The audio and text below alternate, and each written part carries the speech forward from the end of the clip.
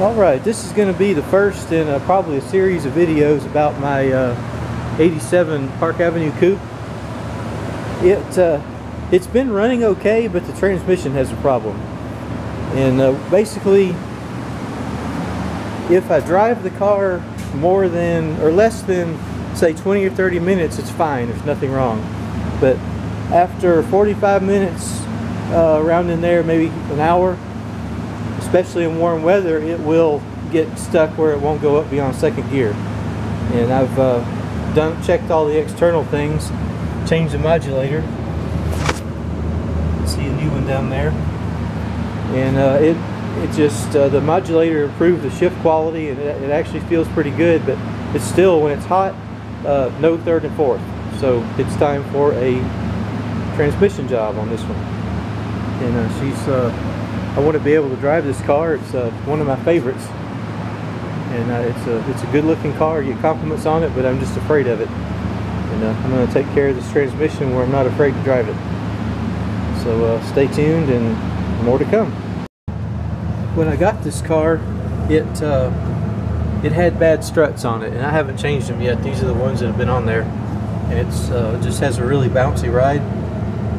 Um, I've got a new set of struts. I've also got a new subframe. And, uh, this connects right there. Connects to the body there.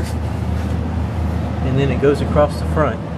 And right up in there is where the uh, the front uh, transmission mount sits.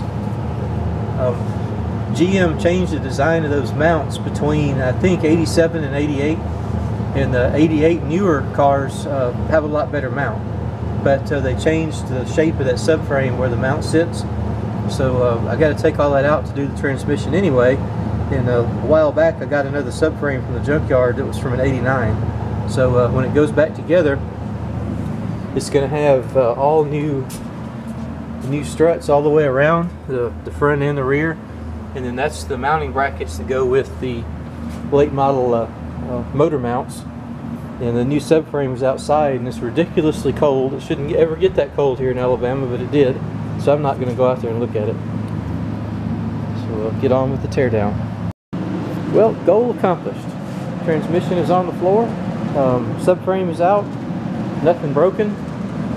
So uh, that, was a, that was a good day's work. Uh, really about a half day's work. And uh, everything looks pretty good in there. So maybe tomorrow it won't be so terribly cold by our standards. Y'all go ahead and laugh at me up north. And I will uh, be able to take this outside and pressure wash it. But uh, today, just the thought of getting sprayed with water today when it's like, you know, really cold out, I just decided now is a good stopping point. Deal with that tomorrow.